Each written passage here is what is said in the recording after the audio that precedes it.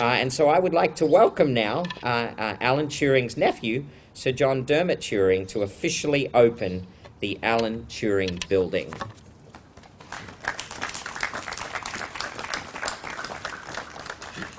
Well, I'd like to thank the Vice Chancellor for his remarks and also to the Open University for inviting the Turing family to be here today. It's obviously an immense pleasure to be here and to uh, be uh, given the honour of uh, opening the Alan Turing building.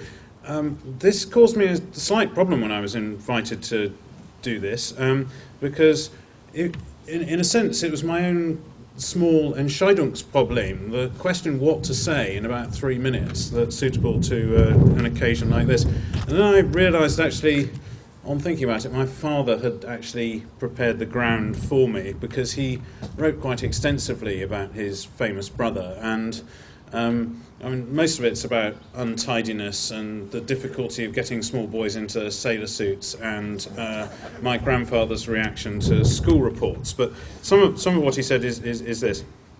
The only person in the household who was forever exasperated with Alan, constantly nagging him about his dirty habits, his slovenliness, his clothes, and his offhand manners, was my mother.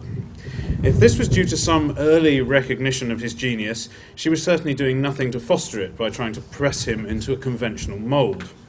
Needless to say, she achieved nothing by it but except a dogged determination on Alan's part to remain as unconventional as possible. More discerning than my parents was the headmaster of the prep school to which we boys were sent. If he had been a little more discerning, or Alan had been less obstinate in his refusal to admit anything to his scheme of things except mathematics, geography, and the art of origami, he might even have groomed Alan for the stardom of a scholarship at Sherborne, but in those days it must have seemed a preposterous idea. At this prep school, there was a splendid mathematics master by the name of Blinkins.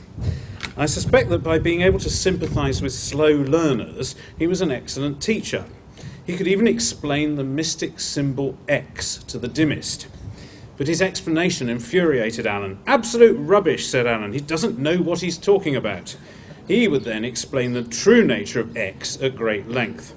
For my part, I preferred Blenkins's version.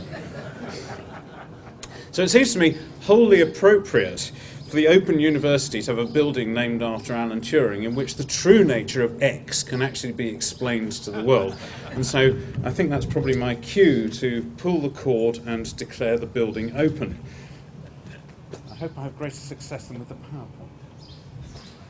Ah,